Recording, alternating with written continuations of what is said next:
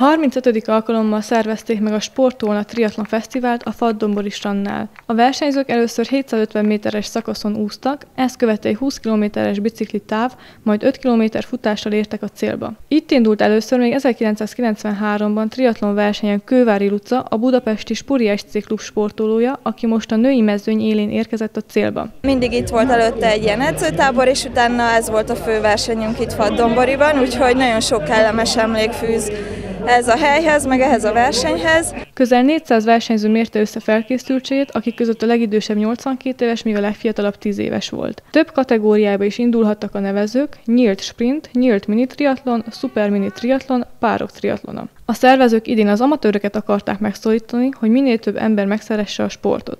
Mi most elsősorban az amatőrökről szólunk, a, szerettük volna, hogy minél többen bekapcsolódjanak a sportákba, olyanok, akik országos bajnokságban különböző előírásokat nem, nem betartva nem akarnak indulni. Itt mindenki elindulhat jó kedves szerint, nem kell semmiféle különös előírás, legyen kicsit felkészült és jó hangulatban teljesítse a távokat.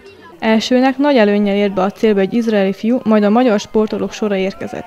Köztük az utolsó méterekbe egy amerikai sportolót megelőzve hatalmas véghajrával érkezett be Boronkai Péter, kétszeres világbajnok, háromszoros Európa-bajnok, magyar paratriatlonista, aki legközelebb Svájcban képviseli Magyarországot. Ez egy nagyon jó kis felkészülési verseny volt.